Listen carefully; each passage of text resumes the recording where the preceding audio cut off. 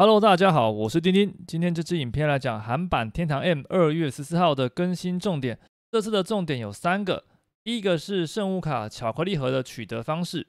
它的取得方式有三种，第一种是透过活动，这个情人节的纪念副本兔女郎的宝箱奖励里面有机会可以获得圣物卡巧克力盒。第二种方式是透过周末制作制作圣物卡巧克力盒，它要花费一百二十万的圣物币。第三种方式就是透过周末制作的情人节特别套餐，它需要使用三十个活动材料，大约是两千钻，做满八个就可以用凭证去兑换圣物卡巧克力盒。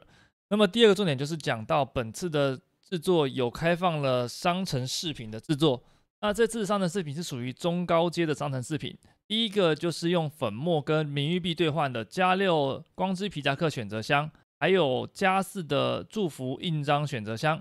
加四的祝福戒指选择箱，还有加四的祝福手环选择箱。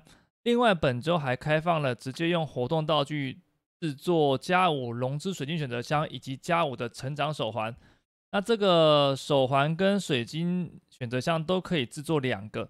等于说，你这一周你想要做的话，可以一次取得加五祝福水晶跟加五祝福手环。第三个重点就是这一次的蓝钻商品，它做了一些内容物的更新。那这一次，它把第一个抽卡券更新为一个闪亮的综合抽卡令牌。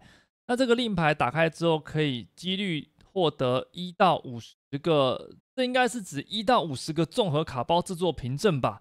那这个凭证，也就是说，它可以直接。有机会换到五十包综合抽卡包选择箱。